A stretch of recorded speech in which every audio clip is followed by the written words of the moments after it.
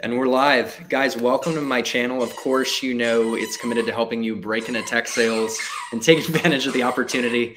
I'm sorry, my puppy's uh, squeaking her toy, little donut here. Um, you know this channel is committed to helping you break into tech sales, but at its core, tech sales is just a vehicle to um, experiencing mental, emotional, and financial freedom. And this channel wants to support you and guide you on that path and journey.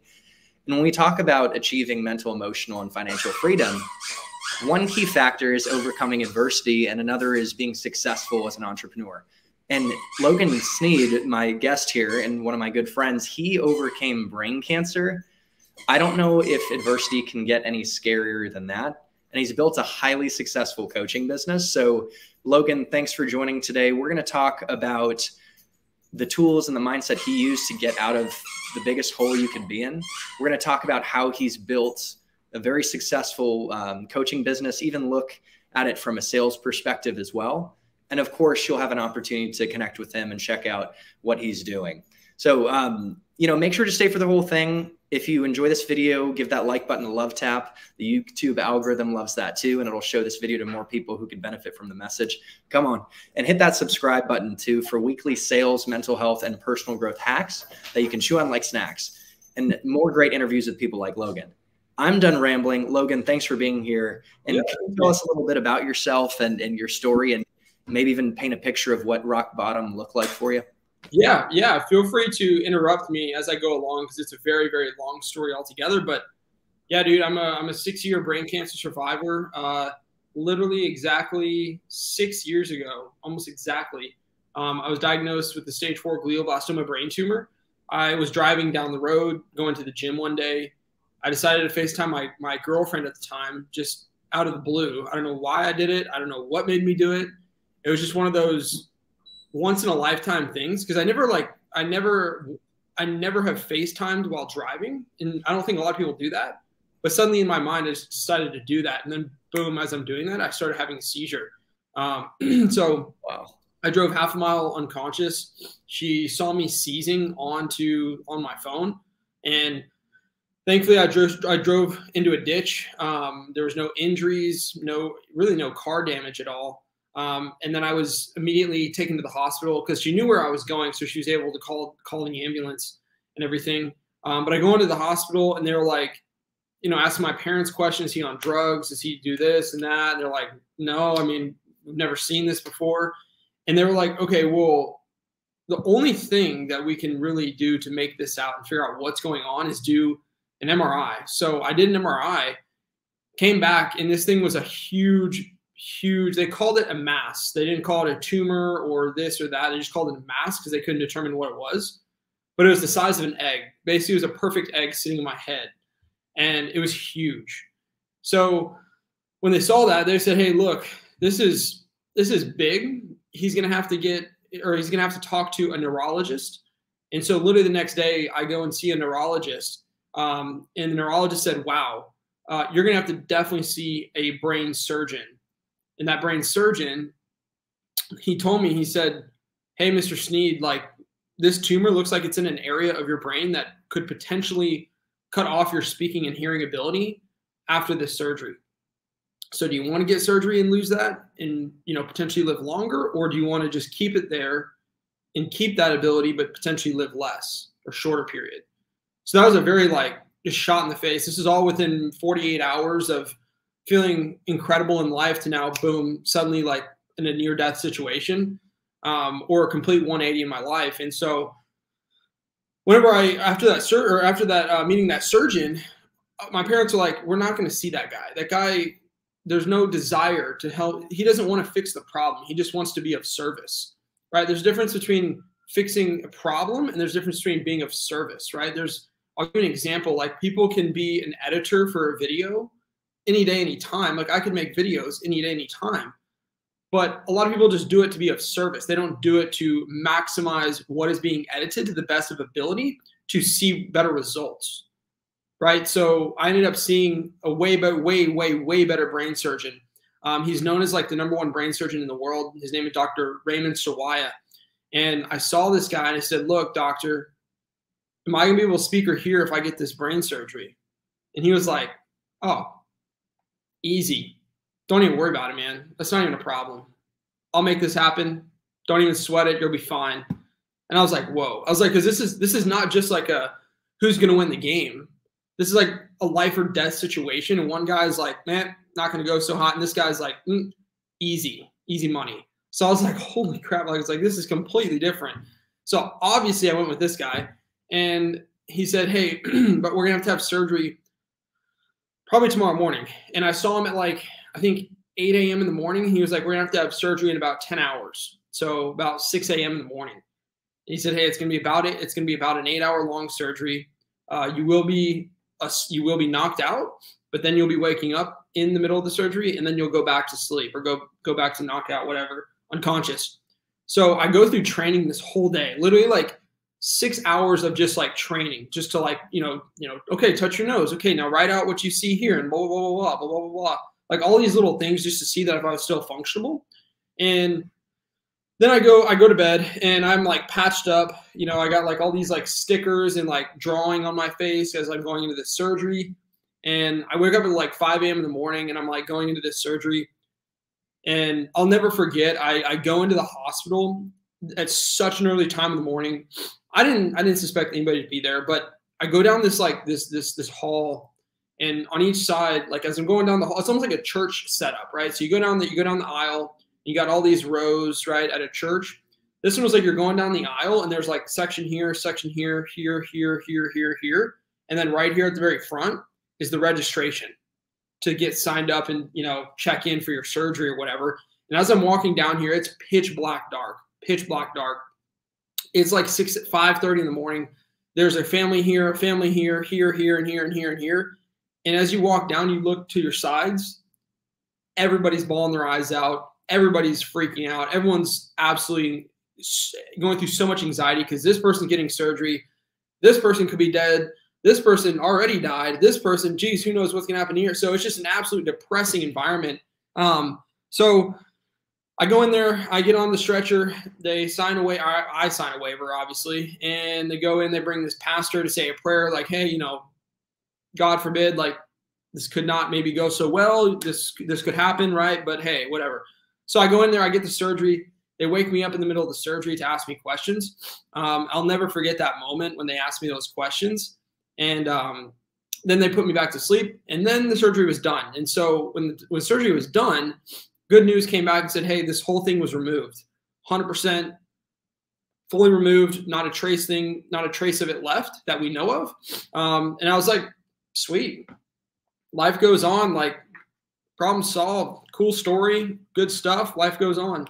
I didn't think much of it. I just thought it was like gone. So if it's gone, I'm like, cool, it's gone, right? And so then they're like, okay, well, you have to come in back in in about two weeks to see what the what the diagnosis is, uh, but we'll let you know. So I come back in two weeks later. I didn't again. I didn't think much of it just because it was fully gone, right? If it's out, if it's gone, it's gone. So what else am I supposed to think of it? Um, and so I come back and she said, "Hey, this is a stage four glioblastoma brain tumor. And if anybody knows what those things are, it's the most deathly cancer there is. It is the fastest growing cancer and it is the least funded cancer in the world. So, like, this is a cancer that people just don't talk about because of how bad it is and how fearful people are when they get it. So, people just don't, I don't want to say people don't stand up for it. It's just so deathly that people just kind of ignore it and just kind of go to the ones that are more curable, more, you know, more people can you know actually overcome. So she said, "Hey, it looks like your life ex- like life expectancy is one to ten years. We can't do anything about this. We'll take you through chemo. We'll take you through radiation, um, but there's nothing that we can do. And I'm very sorry to tell you that." So when I had this doctor who's, if you don't know what a neuro-oncologist is, just look it up because it is the most insane job that you could possibly ever get. I mean, that is like the most difficult job in the world. You're studying the brain every single day. Like that's that's so difficult. So when people who have this sort of job, that's the most difficult job in the world, and they say, "Hey, I know a lot about the brain, but shoot, I can't do anything about it. Like, sorry, I tried." Like when they tell you that, like, what am what am I supposed to do? Am I supposed to be like, "Oh, yeah, forget that, doc. I mean, shoot, I'm smarter than you anyway, so I'll figure this out." No, like I'm like, uh, like okay, so is that it? Like you just don't do anything? Like so in that talk, my dad was like, okay, is there any food he could eat food he shouldn't eat, like no sugar, sugar. Like, what do you think? And she's like, I'm sorry, just not, nothing's gonna work. I mean, like, you know, it's just not gonna do anything. And he was like, okay, so a beer and a burger, like if you just went to go eat trash, like that's fine.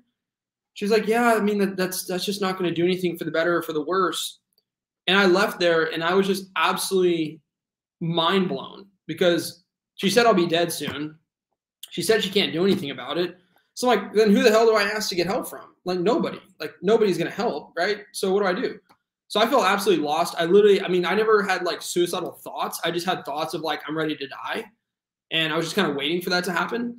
Um, and so I just kind of put everything that I ever dreamed of. I just put it kind of aside and just kind of thought in my mind like I'm, I might be dead tomorrow. I might be dead next month. I, I don't know. I'll just kind of let it go. And so um, it was a very saddening time, obviously, and in a two week period, you know, my parents were doing research on other things that could potentially help. I wasn't doing research. I was just ready to die. Um, but then I ended up going out here to the Ladybird Lake Austin River here, um, right outside my window. It's pretty cool. And I go on, I go paddleboarding with a friend of mine. And uh, he said, Hey, dude, so have you heard of the ketogenic diet? And this was like, this is six years ago. So this is when like hardly anybody knew what it was. I was like, never heard of that. What is that? He's like, okay, it's a low, it's a high fat, medium protein, low carb diet. You should definitely check it out because it does have research that it could potentially shrink tumors or prevent tumor regrowth. And I think you should really look into this. And I was like, okay, sure. And I really looked up to this guy. He was like my mentor, everything. So I went home that night. I literally looked it up, ketogenic diet, and it said you can help you lose body fat, maintain muscle, uh, you know, have mental clarity, starve cancer, prevent tumor regrowth, you know, cure or fix your skin, like all these crazy things. And I was like, okay, I'm sold. I'm sold. Whatever. So literally the next day, I just started the ketogenic diet. Never second guessed it. Never doubted it. Didn't know what I was really doing. I just had to figure it out. And as I go through, I end up seeing crazy results in my body. Like I ended up losing like 30 pounds and literally got the most lean that anybody could possibly ever get. Like I could send you pictures just put on here if you want, but like it was so insanely lean that I went viral. And I was showing how I was doing this in the middle of chemo and radiation. And people were like absolutely freaking out. They're like, what are you doing? And I said, I don't know. It's this thing called keto diet, whatever that is. they're like, no, you're just making that up. And I was like, no, I don't know. I just, you know, I just kind of saw some research like, no, scam, scam, you're just making this up. And I was like, okay, I'm, I'm not sure. It's just called keto diet. Maybe it is. Maybe, maybe I am. I don't know. But it ended up going viral.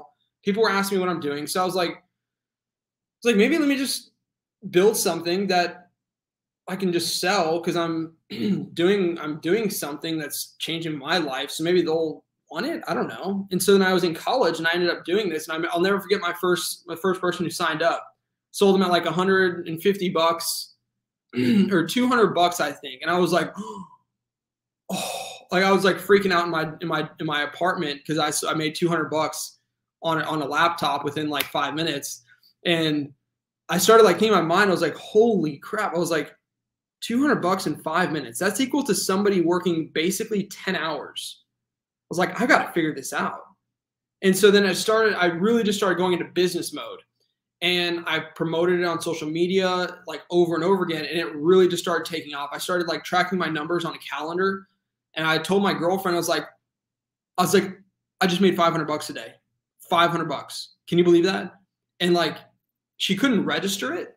And I was like trying to tell her, I was like, okay, look, look, look, look. I was like, this is the plan. Okay, if I keep this momentum going, I'm gonna make enough money. I, I don't have to go to college. I'm gonna keep doing this business. All right. You you stay in college. I'm gonna stay here. I just won't do college. I'm gonna work on the business. We graduate. We've got a house. Life goes on. Money is not a problem. How's that sound? And she didn't believe it. Like she thought it was just kind of like, whoa, whoa, whoa. Okay, calm down. You know, I, I know you got your college, your college energy going. You're so excited for something that you don't even know what you're getting into. And I, and I can understand it, right? If it's a guy, if a guy's like that, there's a lot of a lot of stories like that. But we were dating for four years through this whole thing from high school through college, everything. And when this time happened, like I was really getting my momentum back because I saw that this thing has actually literally saved people's lives. And if it saved people's lives with tumors that were worse than mine, I was like, okay, I can do this. Like I can be a one percenter whose life get saved and change forever. And I'm now making money through a business I've always wanted to do in my entire life. Like, holy crap, this is literally like the world coming to reality that I've always wanted. And then suddenly, Saturday morning, I get the longest text of my life that I've, I mean, it's literally as if I'm reading a 10 page book over text message. And she ended up breaking up with me over a text message on a Saturday morning. And I never saw her again. And that was four years dating and never saw her again. And so that was, that was honestly, I know it sounds a little bit crazy, okay, but it was honestly more depressing at the time than honestly getting diagnosed. Um, because I was like, I was, I was here, hit rock bottom, then I was coming back up, and then I hit really rock bottom. Wow. And so I called my mom. I said, Mom, this is what's happening. I'm making solid money. I said, I don't know what to do. Do I stay in college and just go through all the BS stuff, or do I work on my business and drop out and come home and stay with you guys? She was like, I'll be there tomorrow morning. Pack up your stuff. You're coming home. And I was like, okay. So I literally ended up moving out within 12 hours that next day. Um, and that was a very life changing moment because I packed up. I was making great money. Very depressing, right? And I'm so glad I was able to go live with my family just to make enough money to then go live downtown. Um, but as time went by, the business really started taking off. I started going massively viral. And I was able to go live on my own at 21 years old downtown. And it was such a such an eye-opening time. And kind of going bringing bringing this back into business. So long story short, but the guy who told me about the ketogenic diet was a huge mentor of mine, and he ended up wanting to be part of my business because he ended up seeing how well it was going and what I was doing, and I started making literally. I ended up I ended up get I, I had like I think a hundred thousand dollars in my bank account at 21, and I was like, wow, oh my god, I was like freaking out, and he saw that he knew how well it was going. So he was like wanting to be part of it. And of course if he's a mentor of mine all the way through high school he's already been very successful. I had no questions. I was like yep you're on board. What do you want so he wanted a 65 35 no excuse me 60 40 um, he wanted 40% of the business 60% to me i didn't know any legal stuff i'm literally two weeks into the real world i didn't have a lawyer i just trusted the guy i was like yeah sign this. Okay, cool. Sign that. Sure. Let's go make money. Let's do it. And I ended up giving him 40% of my business. And then literally within the entire year, he invested zero dollars. He put in maybe less than an hour of work every month.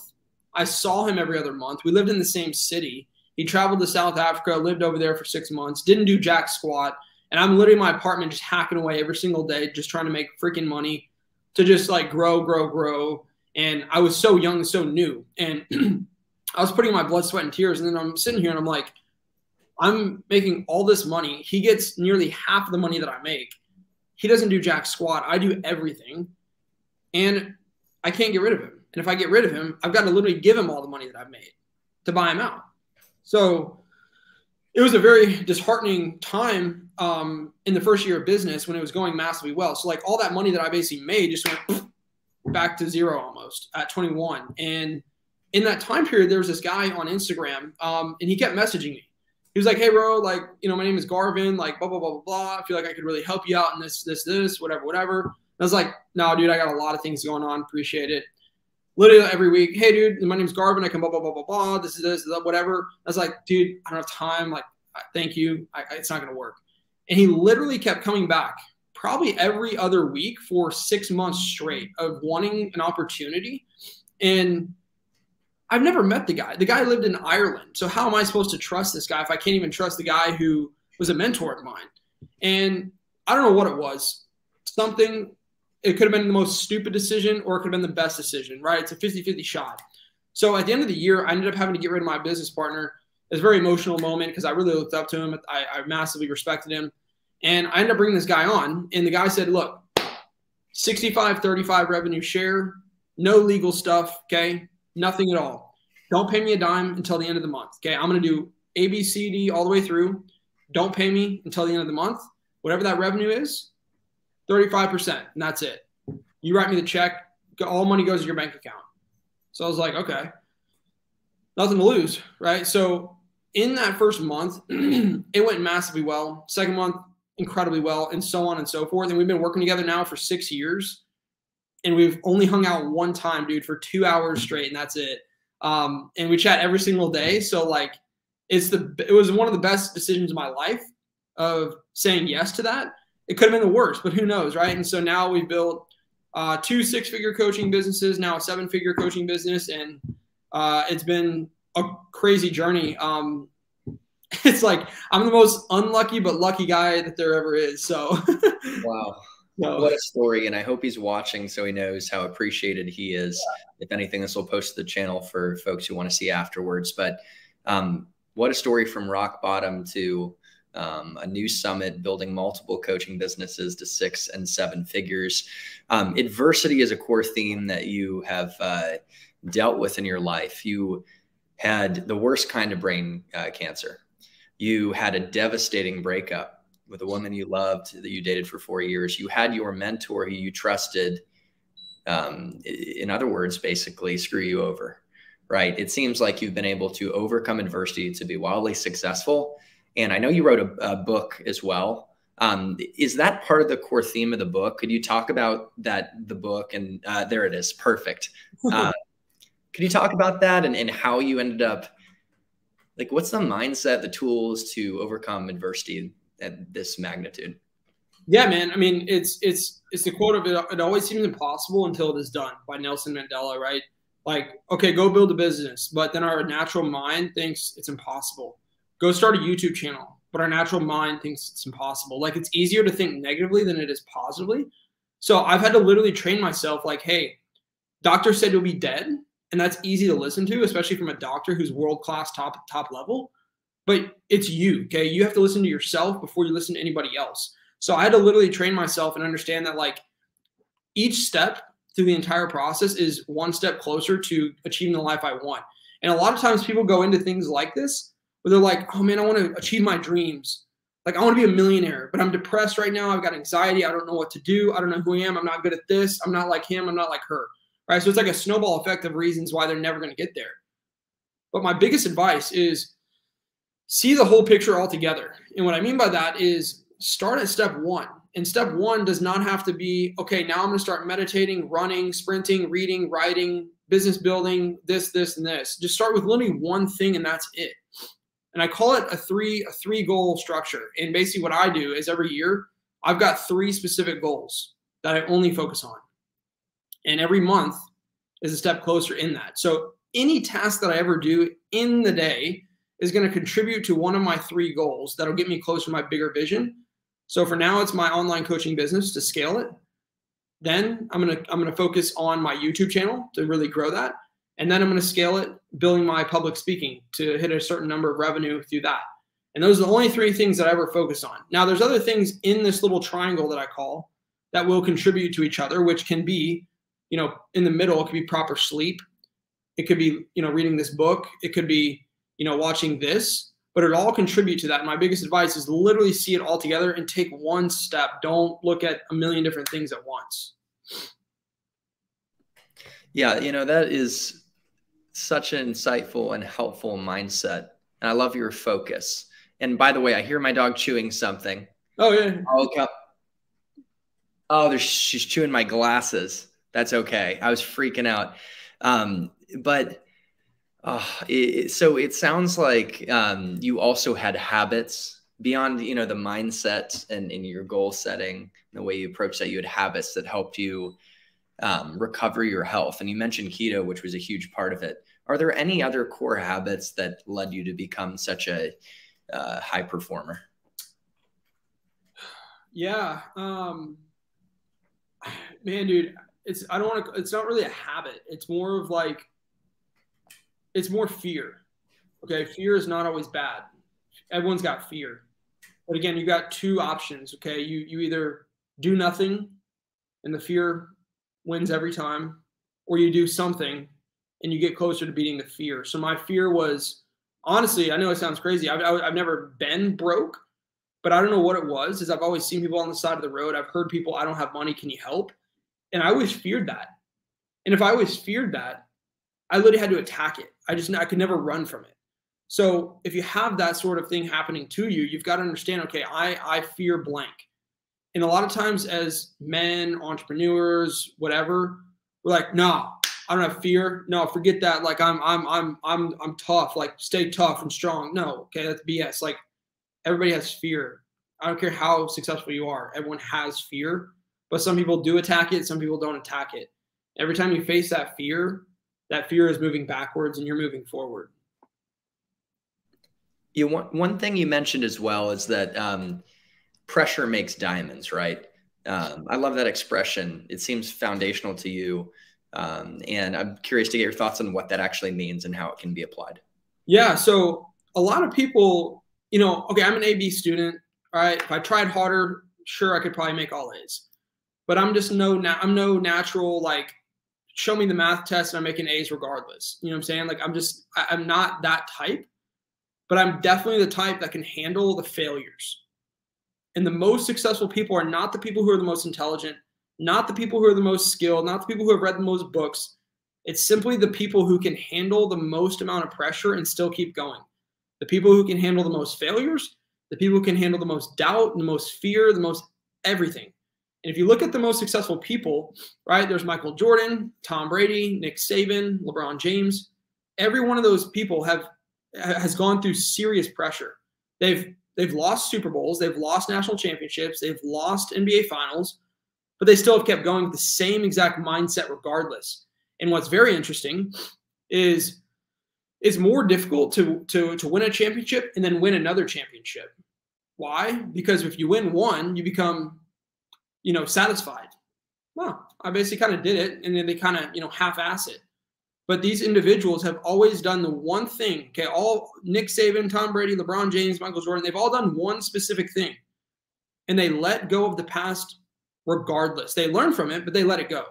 Like one bad game, one bad sales call, mm. they never go back and think about that. They learn from it, but they don't think of like, man, I'm so pissed because if I would have literally just like did this one play, like I would have won the Super Bowl. If I said this one like you know word on this sales call, dude, I think they would have changed their mind. Like they don't look at that. They look at okay, who's the next one? Next one, next one. What's what's good, right? They keep the same energy at every single step, regardless of what happened on the one before. Wow. You know, I heard a Tony Robbins expression, and it's not word for word, but I don't care what happened 10 years ago, 10 months ago, 10 weeks ago, 10 days ago, 10 seconds ago. You're not your past. Let's move forward and let's get going. Yeah. Um, so you've faced hate, haven't you? It's dramatic, right? Um, you know, I think that I have a quote, and it, my buddy gave me a, a gift. Uh, rest in peace, Kobe Bryant. It's a quote of his about the haters, I think. Yeah. Um, and as it seems, as you get successful, like you've gone viral, you'll experience hate, right? Um, even amazing people like Brene Brown, she talks about vulnerability and being courageous, so sweet. She get, has gotten, I think she's gotten death threats. Don't quote me. She's at least gotten hate. I'm sure. How have you dealt with that? Man, dude, I'm not, I, I definitely have to say this. I am a very emotional person. It has its benefits, its non benefits, right? You show me motivational video, I'm out there running 10 miles because I'm so excited. But if something bad does happen, or if I get hate, or if somebody thinks I'm whatever, it does it does emotionally like trigger me. Yeah. Um, and I did I did get hate from the very beginning when keto was something that people didn't know about. They thought it was like fake.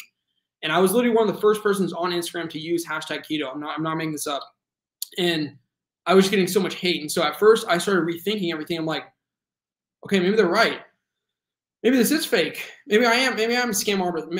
I, who knows? Maybe I just don't know anything what I'm talking about. Maybe they're right. Right. So like over time, I started I started looking at it from not from the standpoint of like, okay, go fight them, go fight them.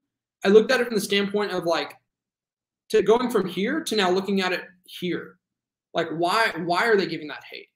And if you look at the why behind why people are giving you hate, it's because of their past of things that have happened to them. They have not, they were not raised in a structured family. They did not have a father figure or a mother figure. They have been bullied in their own past. They are jealous of what you're doing. They don't know what they want. And they find it easier to try and bring people down than to push themselves themselves up. So when I look at it like that, I'm like, wow, that is actually a way different vision. So I don't hate the people that hate me because I know they hate themselves. So me hating them is not going to solve any problem for me or for them. So I just know that they hate themselves, right? They hate you, they chase you. And when you look at it like that, it's as simple as that. And that's how I've been able to overcome that. Um, just looking at it from a different outside view. Yeah, what a perspective. And again, when you get hate, that's a sign of success. It really is. So I wanted to ask a few more questions on handling adversity and in your own bottom, and then I'd like to finish off digging more into your entrepreneurship journey and coaching journey. Yeah. So one of my core life themes, and if I were to give a talk, one day I'd love to give a TED talk, and be on how we can turn problems into opportunities. I really think that this one line, I, I might have gotten it from someone, but uh, life is like a cat. Take two. Life is like a tapestry. On the back, it's chaotic and full of knots, but without those knots, you don't get the beautiful image on the front. Do you have you seen that your problems have been some of your biggest opportunities in your life? Oh yeah. Again, like problem with my business partner turned into the best decision I've ever been able to make. Right. The, the, the biggest, like the biggest breakup ended up becoming like the best thing that's happened to me because I now I had no choice but to go literally go build the life I wanted. Right. My whole diagnosis, I don't think that we'd be doing this podcast or this episode, right? If I didn't have that, I don't think I would know you, right? Maybe I would just be, you know, doing a regular job and living in Cedar Park, Texas or something. You know what I'm saying? Like maybe we'd never have known each other. Um, yeah. Your book wouldn't have existed. Exactly. And the impact that you've been able to make for other people and to inspire people. I, am very inspired myself in this conversation, and I know you, and it's like I'm re-inspired. And you know, Jordan Peterson spoke recently in Austin, and he yeah. is someone who I really admire, brilliant guy.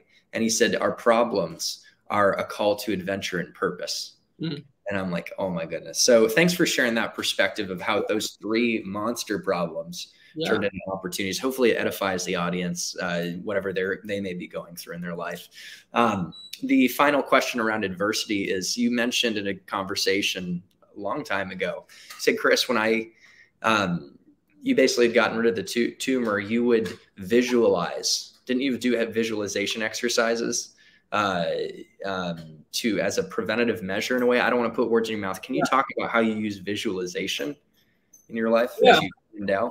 So if you if, if, if, people on here have watched the movie uh, Mr. Incredible, right? Um, there's a superhero. I forget the name of the superhero, but she has like a purple shield around her, and this purple shield uh, basically protects her from anything that comes her way. So like anybody wants to come try and shoot her, stab her, whatever, boom, block, nothing happens.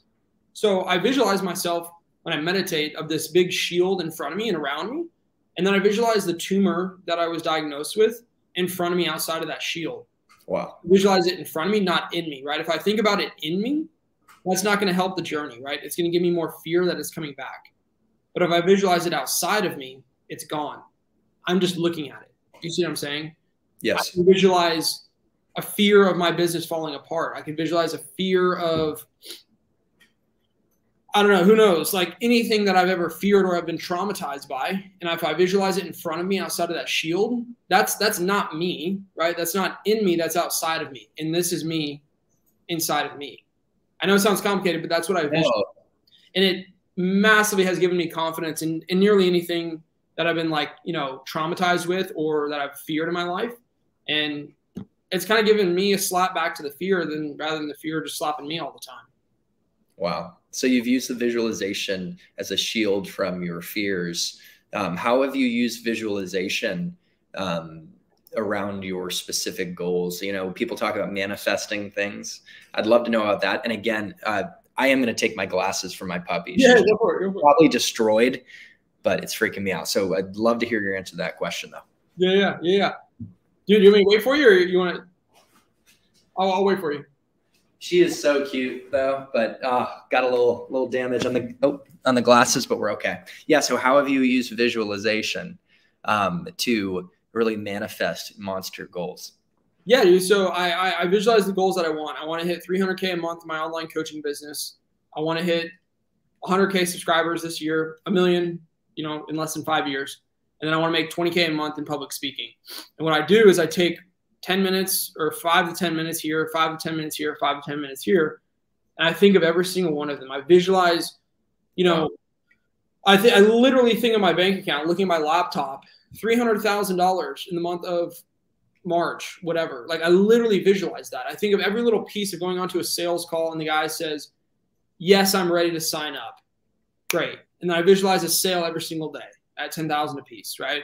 And I visualize these things so vividly, like it's like as I'm meditating, like I'm actually living it. It takes practice, but it, it does it does work. And then I visualize, you know, 100,000 subscribers. I visualize a video doing super well. I visualize actually making the video. And then I shift over and I'll visualize actually being on stage, like actually getting people to stand up, standing ovation, loving it, you know, all these sort of things. And I just literally do that every single day and just repeat it, repeat it, repeat it. And because I've done it so many times, I'm so utterly confident that I will get there. I 100% will get there. I have no doubt about that. I don't know if it's tomorrow, if it's next month, if it's next year, but it'll, it'll happen, right? So when you do that, you you become so much more confident on a daily basis in who you really are.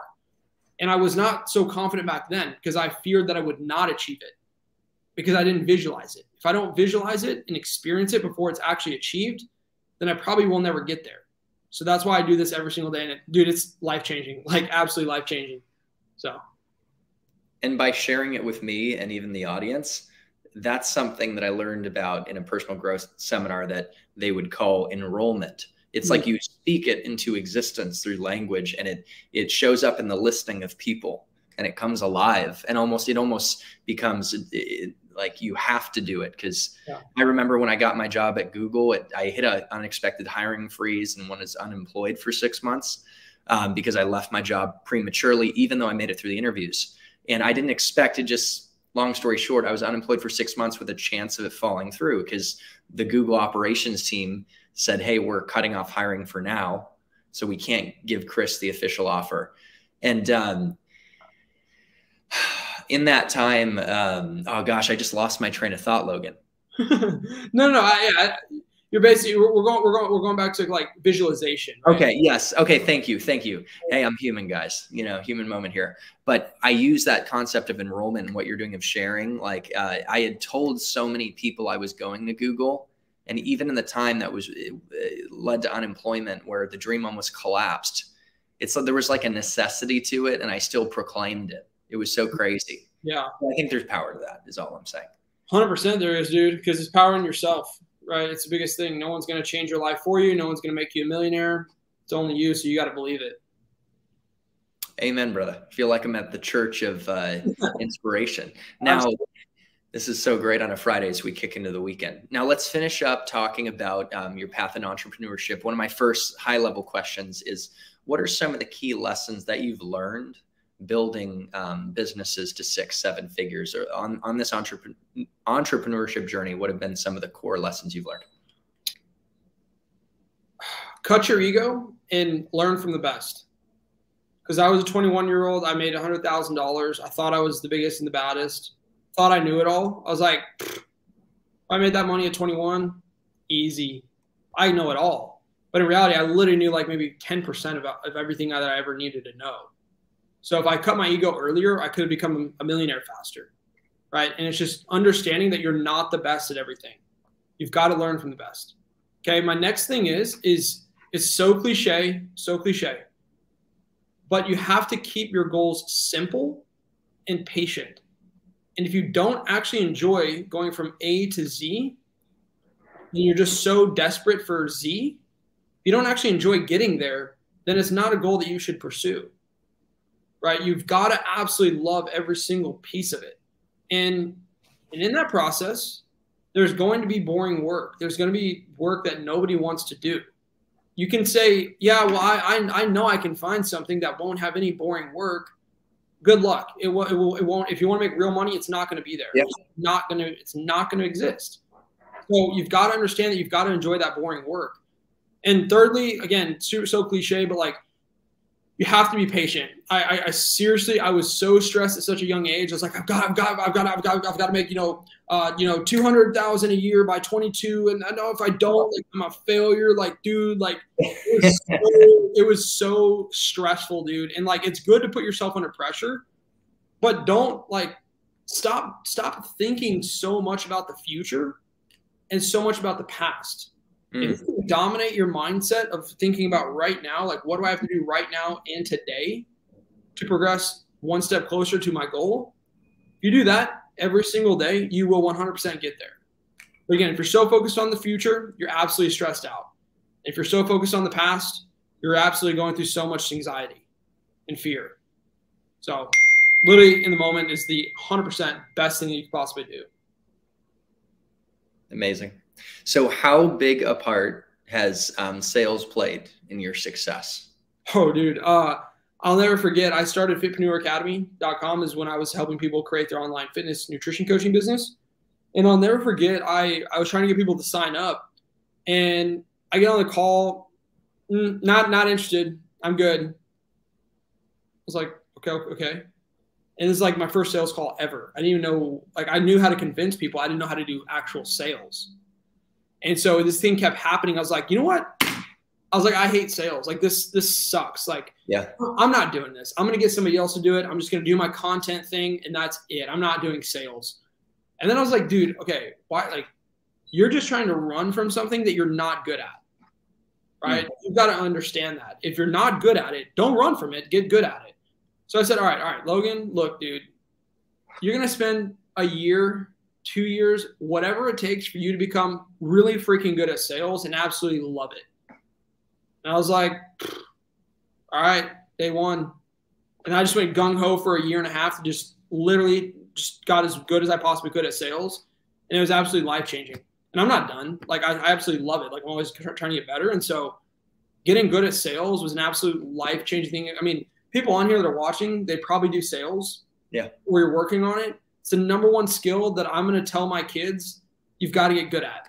I don't. Your, your degree does not have to be in sales, but I'm just saying you have to know sales if you want to be successful socially, financially, job wise, business wise, relationship, whatever. You got to get good at sales. And so I started in tech sales out of college at Oracle, and they have a training program.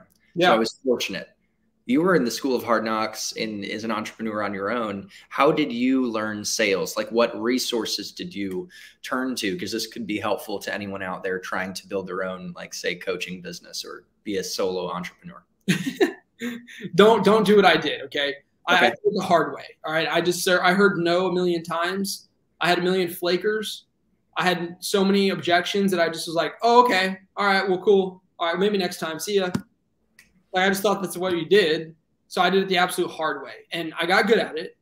But I would say this that get a sales coach. Like it could be a good friend who's really freaking good at sales in your industry, or just get somebody who's really good at sales. Get a Jordan Belfort program, right? Look up Jordan Belfort, The Wolf of Wall Street. Like he has the highest level sales method, right? Look up his book, Wolf of Wall Street, and read the freaking book. And it t- teaches you his whole process of the loop method of what loops are, what objections are, you know, tone, you know, energy, all these sort of things are, and just literally like keep it simple. Jordan Belfort sales program, or get his, his book, Wolf of Wall Street, and it can literally be life changing for you. So I, am glad you mentioned that because the final thing I was going to ask you about um, sales is uh, what are some concrete tactics you use to close over the phone? I know uh, you described when you got your first $200 sale in 10 minutes through your laptop. I mean, that is pretty powerful. And in a, it's amazing our potential to make money in a virtual world. Um, I had a uh, fitness instructor that reached out to me on LinkedIn from Ohio, and he trained me virtually and got amazing results. He designed my programming. So there's a, a huge opportunity to capture. How do you close virtually or over the phone or over uh, Google Meet or a Zoom? Yeah, dude. I just, I'm really good at connecting with the people. I'm really good. I'm not good at selling. I'm good at solving. Because if you solve a problem for somebody, if you solve a problem for a company, and you say, "Is this a solution that you feel would help?" Yeah, I do. Okay, so you, do you feel the solution is worth making an investment in to help 10x your sales in your business? Yeah, I do. Okay, so is this something you feel that you're ready for? Yeah, I do. So you didn't I didn't I didn't convince them. I just asked them question. And so I got really good at connecting with people and I got really, really good at getting away from the standard method of selling to now the future way of selling. And here's where I'm going with that. Sales have become 10 times more difficult nowadays than they have back in the day. The reason is because back in the day, you could actually convince somebody and they buy what you're trying to sell because you're convincing them. But nowadays, you cannot convince them because they have there's technology to look you up there's reviews online. there's social media to see if you're the real deal. They have so many more varieties to look at. This coach, that coach, this tech company, that tech company. So they have so many things to dissect to prove why they shouldn't buy from you.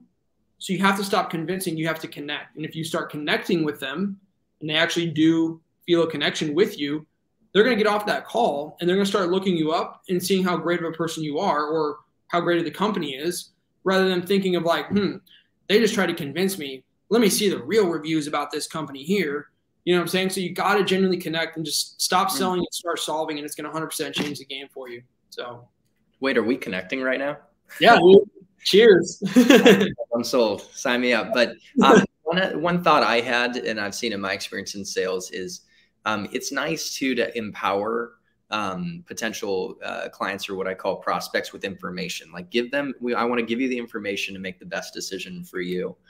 Um, and being consultative. And another thing I noticed is, um, I mean, people do buy emotionally. Psychology is really at play in sales. So you know, understanding uh, a challenge that um, a prospect is trying to overcome in their life or a goal they want to move towards, I, have seen as important. What are your thoughts on that? Had, and have you seen that play out um, psychologically in your uh, type of selling?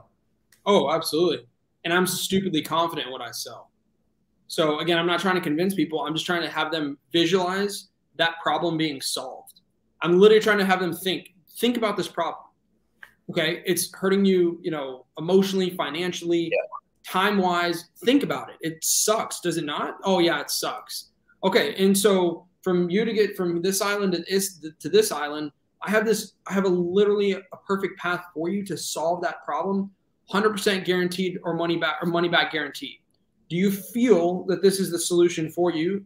And how would that how would you like what would that do for you and if they literally visualize that, and if they actually see the proof that my solution works, I would I would want them to sign up, not because I care about their money, but because I know what I do, I know it works, and I know if they do the work, it's going to 100% change the game for them. And I've been able to change so many lives in this online coaching, where people have been able to quit their nine to five, people have been able to quit, wow. you know, doing a personal training thing, or they've had a, a non-successful business now becomes, you know, insanely successful and it literally has changed their life. And so when it changes people's life, I'm like, it works. Okay. You want this solution? I'm telling you, it is going to work. It's going to do X, Y, and Z. So that's why, again, I do trigger their emotions in a positive way to get them to see the solution that I have because naturally people can have a closed mind, especially in the online coaching world. Like, oh, I've seen coaches, I've seen this offer. So naturally, they've got a closed mind as reasons to not sign up with you. But if I have them really visualize it and see how it's different and how much I really care about the results, they start thinking of like, hmm, okay, this is different, and I am open to hearing about how this could solve that. So, yeah. One thing I thought of um, as well is uh,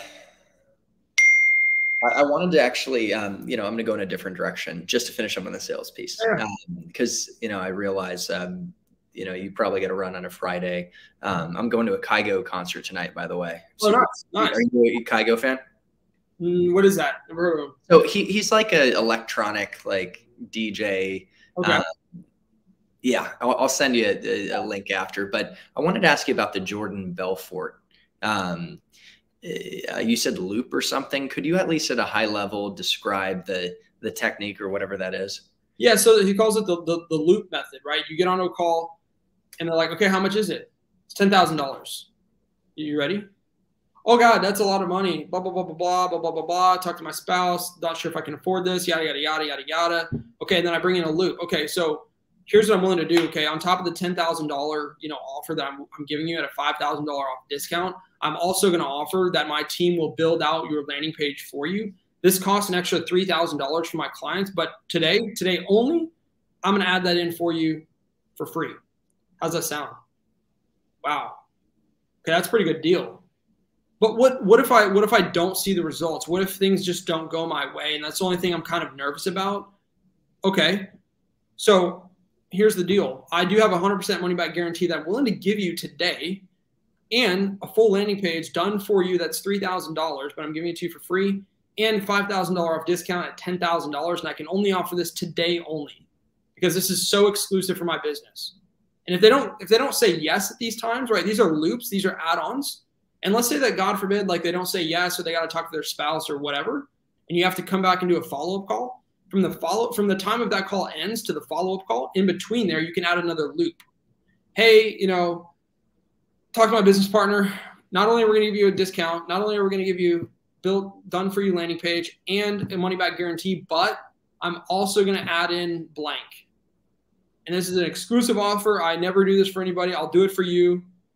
We'll chat Monday. I'll see you then. And that's another loop. So these are always add on bonuses. If they don't accept these, which they probably will accept it on loop one or two or three, but they're getting closer and closer to reasons to buy in, right? So as you're doing this, and it's not doesn't have to be anything crazy. Like I don't recommend doing like, oh, discount, okay, discount, discount, discount. You know, don't do yeah. that. Just add in different little things that gets their mind thinking about why they should do it, and that's what will really get people closer that's really helpful because that's a technique I'd never learned. So I'm sure you know for the audience, it's a, a new insight that they could probably apply today or tomorrow as they yeah. uh, sell themselves and build their businesses. The yeah. the thought that I lost that I wrangled in again, I've had that happen a couple times today, is um, just to our uh, point or discussion on um, you know helping the client or prospect understand emotionally uh, the cost to them or what the benefits would look like i feel like it's, it's good to get them you know thinking like yeah like what is, what is it costing you to stay on the same trajectory right? And really maybe you can quantify it or um, paint a picture emotionally and to get them to visualize like having achieved their goal you know what that would look like. That was just something that i, I thought of. Do you do you get them to I, I guess not being in like you don't want to be over the top with it, but do you apply those techniques or get them to like visualize? oh, dude, I, I, I, I lay out facts. I say, okay, yeah. so how much are you making right now in your online coaching business? A thousand a month. Okay, so how many hours are you putting in on a monthly basis? Uh, 50 hours. Okay, so doing some math here, I'd have to do math. I don't remember what that number is. Thousand dollars, yeah. fifty. What is that like? Two, yeah, 20. I don't, I don't know. I'm terrible at math. Friday, you know. Whatever, whatever. Right. I'm like, okay, so you're making about $10 an hour right now doing this, making $1,000 a month. How does that sound? Right. So if you're making $10 an hour, right? I mean, that's lower than the average income. And if you keep doing what you're doing, you're going to keep making $10 an hour at 2000 a month or 1000 a month.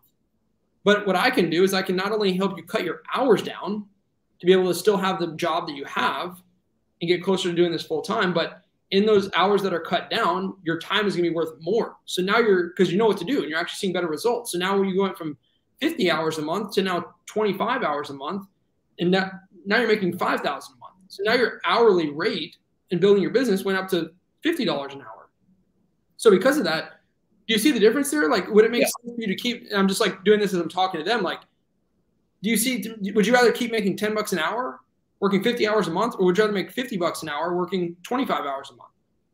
And so when they start thinking that, they're like, "Shoot, I never thought of that," and that's what gets them closer to like wanting to proceed with that.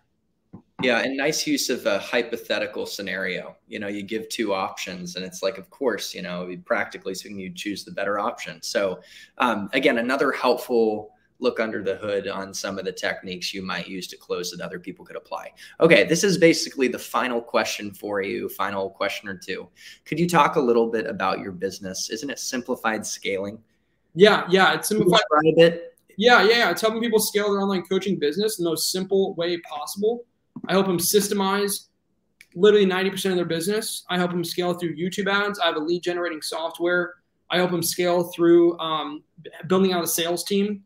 I help them scale through the hiring process and literally have a full funnel process that's already templated, ready to go. They just fill in, boom, done. Literally helps their sales massively. So helping them scale to seven figures in the most simple way, time, stress free way possible. Wow. And, and that's a key challenge for people is they can uh, maybe experience some traction and success, but scaling is a whole different uh, story. Yeah. And you basically help these entrepreneurs um, amplify their results like substantially and that could be life changing so yeah. um, my final uh, question before a call to action for people to get connected with you and uh, check you out is can you give a teaser of some of the concepts like uh, just a little taste of some operating principles or tools that are uh, most helpful to scale uh, for example a coaching business Yeah. Um, you mean like other softwares, things to use? Maybe it's not because you mentioned some tools, high high level like lead generation and other um, key aspects like building a sales team. But are there any when we look at the concept of scaling a business, like are there some core principles and concepts that um, you've applied and obviously you're sharing with your your um, clients? Yeah, you got to you got to look at it from a time a time timetable, right? Where are you putting the most amount of your time? And if you're putting your time into into like 70% of your time into generating leads, ask yourself, could this be taught to somebody else? And if it can be taught to somebody else, you hire somebody to do it for you. And that now gives you back 70% of your time to now focus on things that you can't hire people for, which could be an example of building out your program, making it better, helping clients, uh, running YouTube ads, right? You can't have somebody else create the videos because the video has to be you. So then you put your time over there. Then, or your time could go into building a sales team where now these people are taught how to prospect, close, prospect, close. Now they're getting sales, right? So look at it at a time window. Can you have somebody do this work for you and you can teach them? And if so, change your time and put it over here that's going to help scale it. And so I kind of teach them that sort of process. So it sounds like a foundational principle and concept is delegating where possible, especially around tasks that are not super differentiated to you. Of course, you need to be the one, you have the unique messaging and you deliver and, and are, are filmed and communicate your message. And it's hard to, I mean, that's you and that's unique, but everything else can be delegated and that helps free up your time to focus on the highest value tasks. Is that yep. 100% work smarter, not harder. Absolutely. So, Logan, this has been an incredible conversation. Even though I know you, I feel like I got to know you yeah. better. I learned a lot myself. I know the audience got a lot out of this too.